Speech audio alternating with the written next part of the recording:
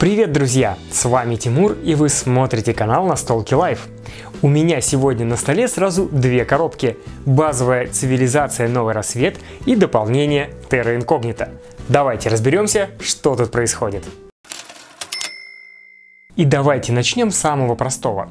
Теперь в цивилизацию с дополнением Terra Incognita можно будет играть в 5 человек. В коробке для этого предусмотрен новый набор компонентов фиолетового цвета и вообще в принципе это стало возможным благодаря новой механике развития игрового поля, о котором мы поговорим в процессе. Ну а теперь давайте а, прокинем наш взор на новые компоненты и выясним, что же такого интересного принесло нам это долгожданное дополнение. Ну и начать мне хотелось бы, конечно же, с лидеров, потому что они не претерпели никаких изменений. Это просто новый набор лидеров со своей уникальной способностью и э, стартовой раскладкой стартовых технологий первого уровня на своем ряду технологий. А на обратной стороне э, поменялась подсказка. То есть если в базовой коробке это э, подсказка по итоговым целям игры, то новая памятка, она рассказывает нам, как район, работают новые районы. То есть вообще как районы работают, потому что раньше такого в базовой игре не было. Э, в остальном, в остальном, в принципе, ничего не изменилось. Кстати, обратите внимание, у меня база английская, дополнение русское. Я не думаю, что это проблема, мы совсем разберемся. Дальше у нас ряд технологий. Э, в базовой игре это было 5 ячеек, в дополнении это 6 ячеек, э, причем цифры 6 нет, есть две э, первых ячейки, чтобы не иметь возможность прокачивать, продвигать технологию в шестую ячейку и какие-то бомбические эффекты применять. Теперь у вас две технологии, которые работают с силой 1. Обратите внимание, что у лидеров-то ничего не изменилось, то есть также вы стартовые технологии раскладываете в 5 слотов, Дело в том, что появилась новая технология. Это тип, новый тип, он называется прогресс. То есть раньше были у нас производство, то есть промышленность, культура, наука, война и финансы, экономика. Э, теперь прогресс. Для чего это было сделано? А, для того, чтобы в игре появилась война. Карточки военных технологий претерпели изменения. Сейчас я вам покажу как. Обратите внимание, каменная кладка. Технология первого, э, первого уровня, первой эпохи. И вот каменная кладка как выглядела раньше. Если старая технология позволяла вам улучшать ваши жетоны контроля, либо э, проводить ими атаки, то новая каменная кладка вообще никак не взаимодействует с жетонами контроля. Она теперь перемещает армии. Да, в игре появились армии. Это вот такие вот фишечки. Они теперь двигаются по полю как юниты, как караваны и могут проводить атаки. Ну и забегая вперед, скажу, что теперь э, не существует дальних атак. Э, теперь э, все, вся война происходит на клетках, куда приходят армии. Так вот, на новых на, на новой карте войны теперь прям символ вот этого штандарта, как на карте экономики, куда нужно поставить караван, также здесь э, вы начинаете с фишкой армии. Ну и прокачивая эту технологию, вы сможете поставить две фишки армии. Ну, а об этом чуть позже. Также были заменены э, у нас технологии животноводства и финансы. Э, то есть мы старые вынули, новый добавили. Дело в том, что животноводство позволяло вам строить город рядом с караваном, а теперь новое животноводство позволяет не только с караваном, но и рядом с, на, на клетке с фишкой армии построить город. Ну, то есть это вот как раз изменения, которые коснулись благодаря новой механике.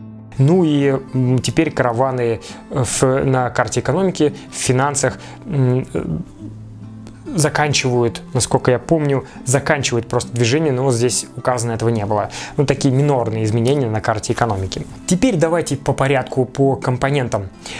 У нас появилась новая, новый круг э, из событий.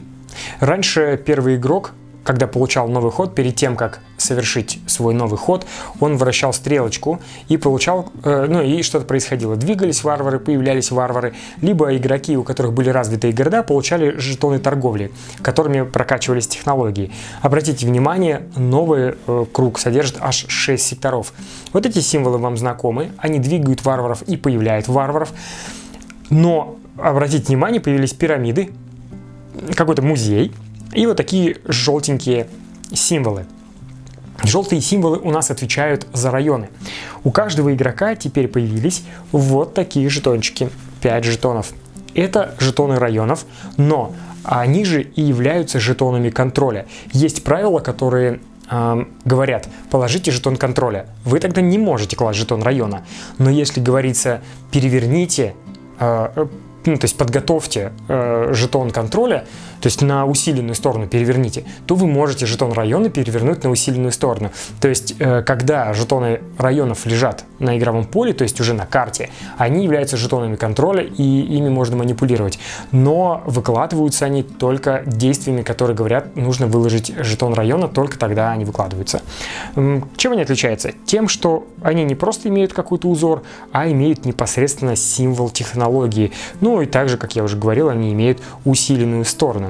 А, каждый раз, когда стрелочка достигает такой отметки, вы активируете, то есть все игроки активируют все свои районы, которые успели выложить на игровое поле вокруг своих городов, то есть на игровую карту.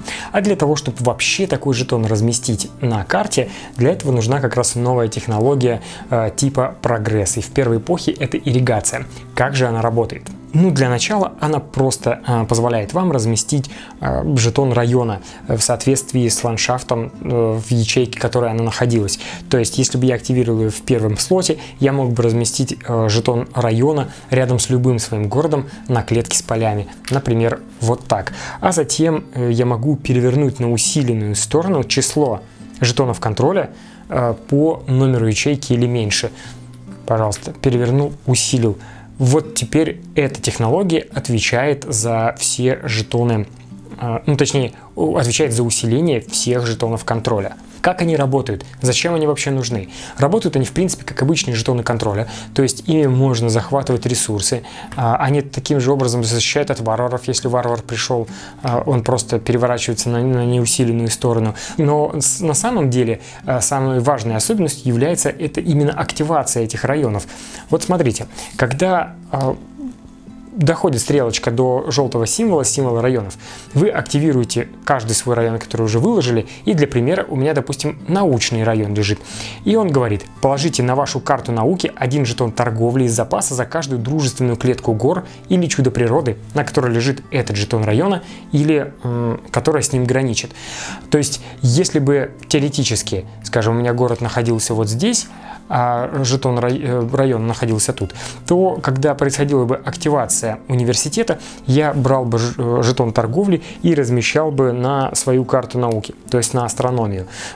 Так работают все районы. А, все они отличаются и отвечают за разные аспекты э, вашей цивилизации.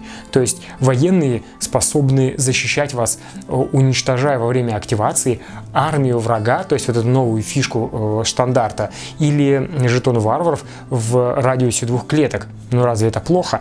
Или, например, ремесленный квартал позволяет вам э, класть жетоны торговли э, на карточку производства и кроме того, что вы имеете возможность их тратить, усиливая эффект, то есть получая скидку на чудеса света, теперь э, в качестве второй способности вы можете сбросить отсюда три жетона торговли, чтобы построить новый город по обычным правилам. То есть каждый из этих жетонов э, районов позволяет вам выполнять какие-то на самом деле классные и очень полезные действия. Так работают районы. Же мы видим дальше? Э, символ с пирамидой. Символ с пирамидой означает у нас чудо света.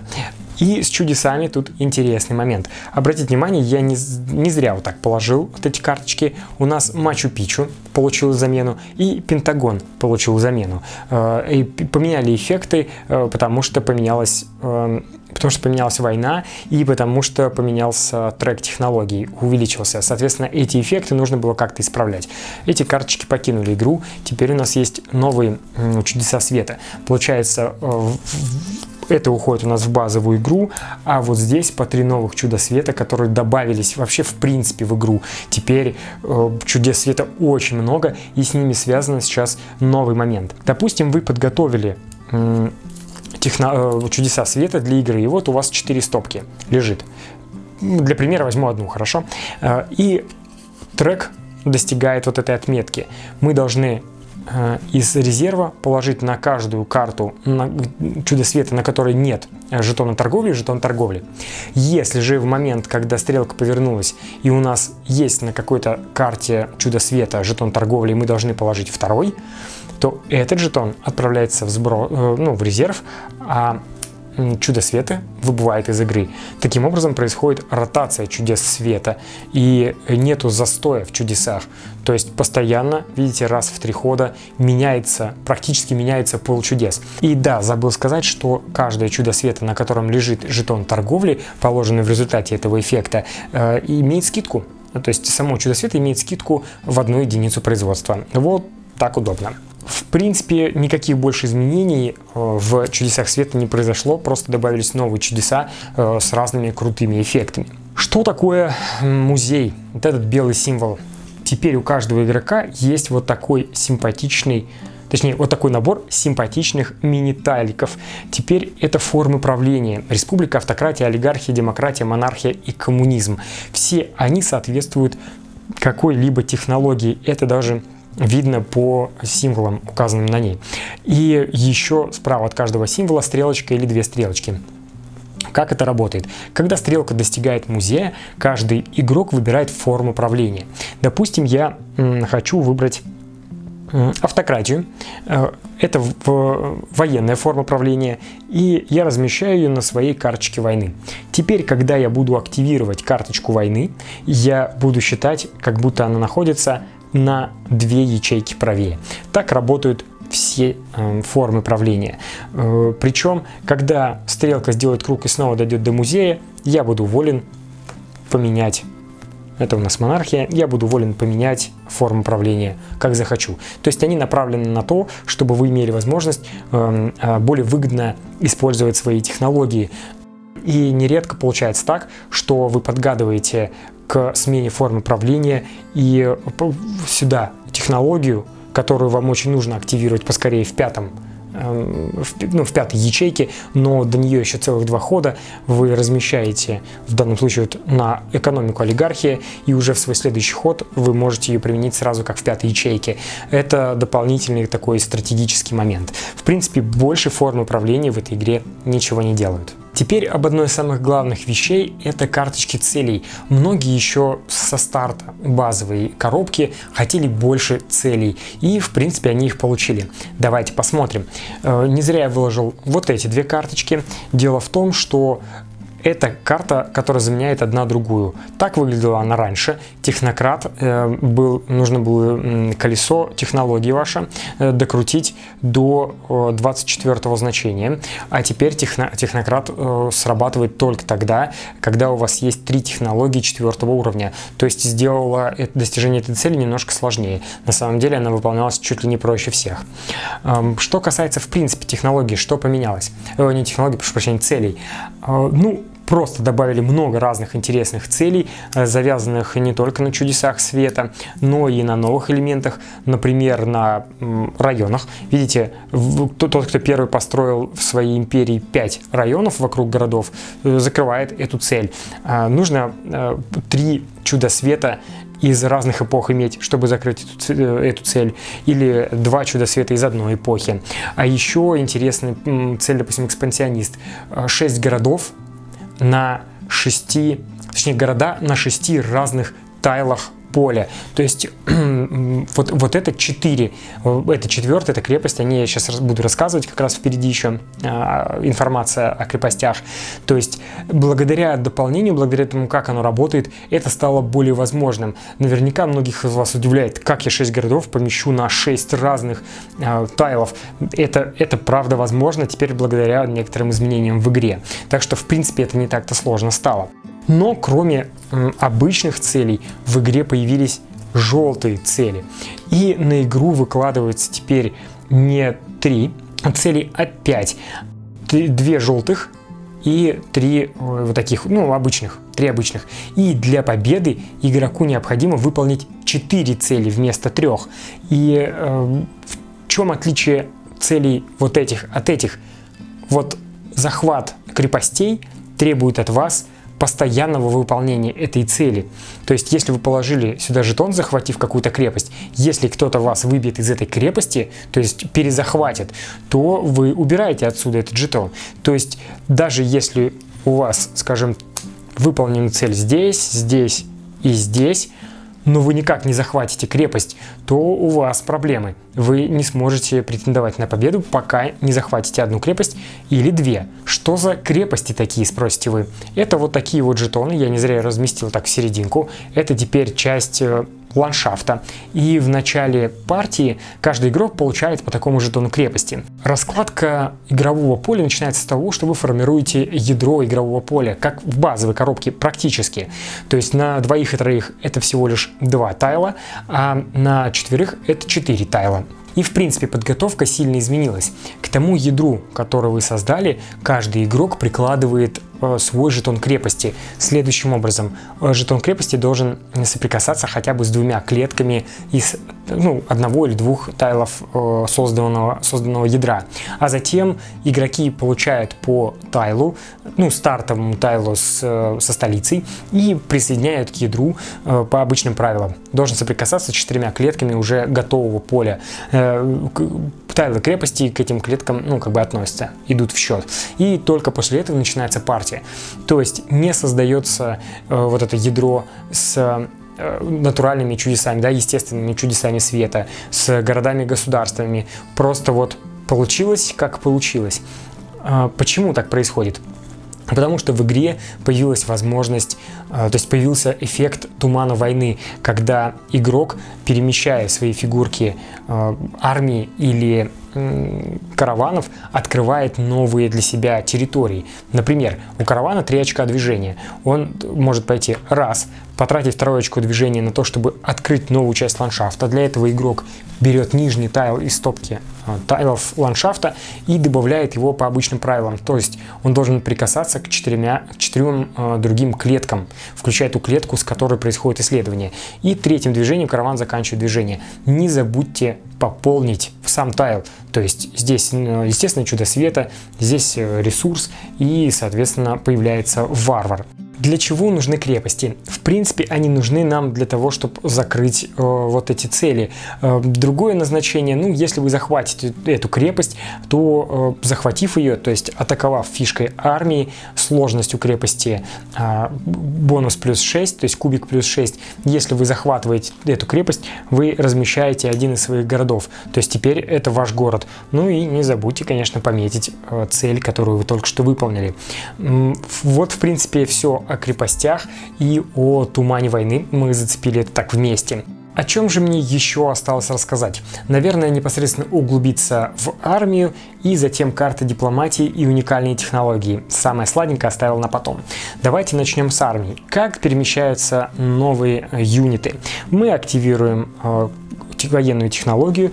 Там в данном случае мы с карты снимаем э, фишку армии и, соответственно, она начинает движение либо со столицы, либо с развитого города и двигается в данном случае на три клетки по указанному ландшафту или меньше.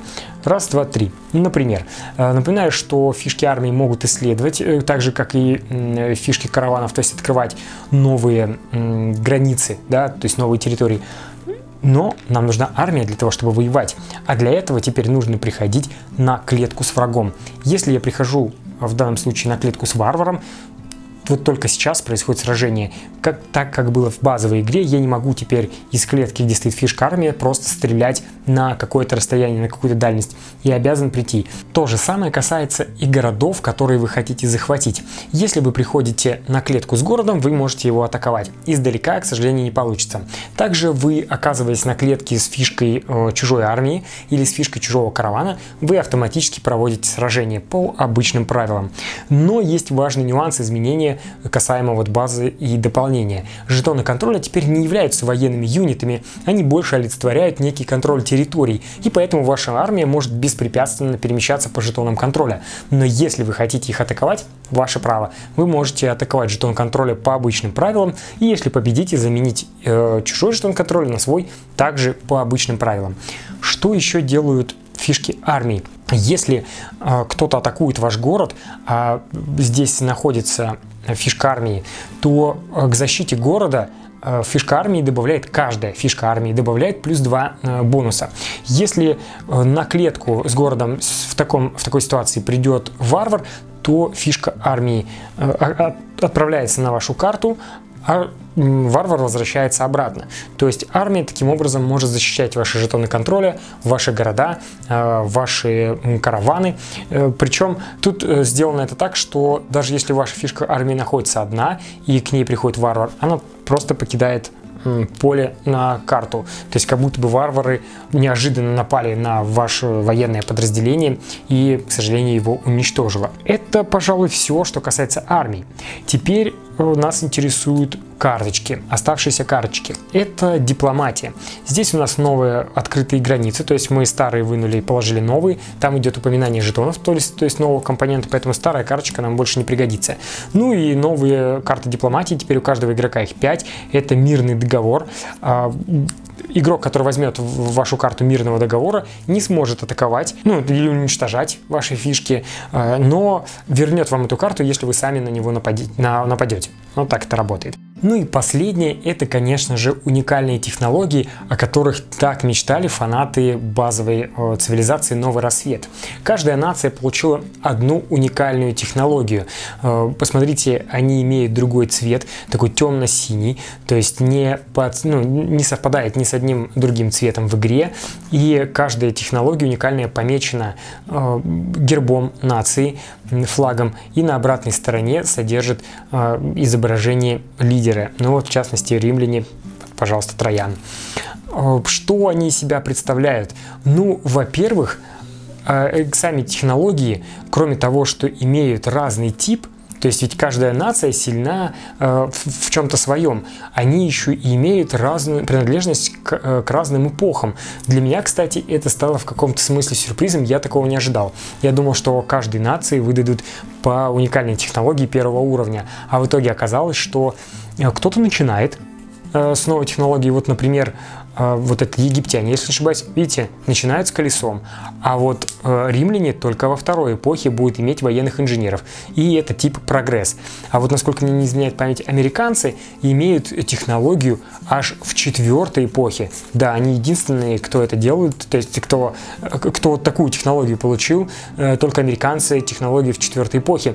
Но она и сильная, насколько я понимаю, она способна заменять чужие города вашими. Извините, такой эффект в начале игры ну, был бы довольно сильный.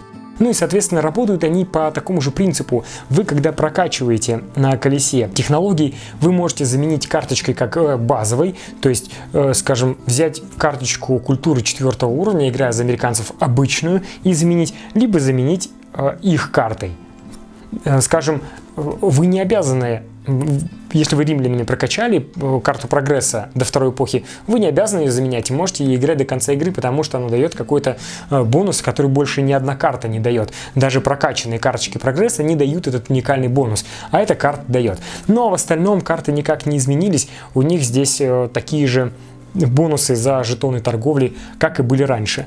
Кстати, я знаете, о чем вам не сказал? Э, военные жетоны, э, военные карты технологий теперь э, за жетоны торговли не просто дают бонус к силе. Вы можете перебрасывать кубик то есть, либо потратить жетон торговли, чтобы добавить плюс один к силе, либо потратить жетон торговли, чтобы перебросить кубик, который вы бросали на атаку. Вот так выглядят у нас новые, обновленные и уникальные технологии в игре. Читать я их, конечно, все не буду.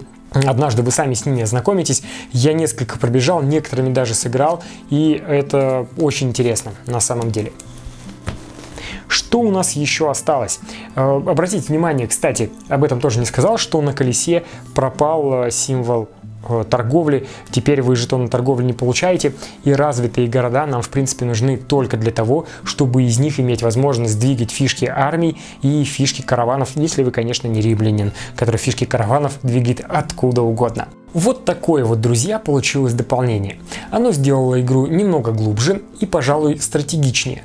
Конечно, выросло время партии, но все от того, что в игре появилось много новых элементов, с которыми приходится взаимодействовать. Плюс заметно вырос уровень планирования. Э, теперь технологии 6 вместо 5. Э, знакомые нам эффекты разделили на две карты, а карты технологии культуры в принципе изменили свою ценность. Ведь раньше жетоны контроля, которые вы выкладывали на игровое поле, позволяли вам сражаться, а с дополнением жетоны контроля э, стали нести э, другую функцию и нужны совсем для других вещей. И э, теперь приходится заново учиться играть картами технологии культура. И это очень неожиданный момент. Я уже слышал мнение, что с дополнением игра стала больше похожа на цивилизацию. Но скажу вот лично для меня, базовая коробка и базовая коробка с дополнением – это две разных игры. Спасибо, что посмотрели наш обзор. Если он вам понравился, обязательно поставьте лайк и нажмите на колокольчик, чтобы не пропускать наши новые видео.